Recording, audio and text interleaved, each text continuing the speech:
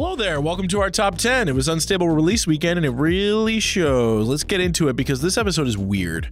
First up, we've got a Storm Crow token. These can only be made with Crow Storm, but Storm Crow's been a magic in joke for years. You can thank Walking the Planes for that one. Saproling tokens, by comparison, are far more popular. Saprolings are all over Magic's past and present, so its sales make a lot of sense. Same idea applies to Goblin tokens. Sometimes you just need to make a bunch of goblins, you know? Empty the Warrens, Krenko, Mob Boss, players all over the map need goblins. Goats are a little less common. I don't know. Maybe there's a bigger overlap of Magic players and LeBron James fans than I thought. Who knows? Thopters see tons of play in standard at the moment, so it stands to reason that people want to bling out their tokens. Opt is still selling strong. It saw plenty of play at Grand Prix Oklahoma and will look to keep its momentum going at Pro Tour Rivals of Ixalan.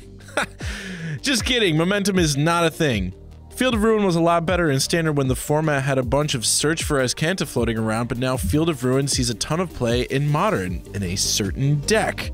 The As Foretold deck that's been running around. Corbin played the deck today, and you should definitely check those videos out because the deck is sweet. Sealed booster boxes of Unstable sold well, and for good reason. The set is a ton of fun to draft with friends, and the lands are gorgeous.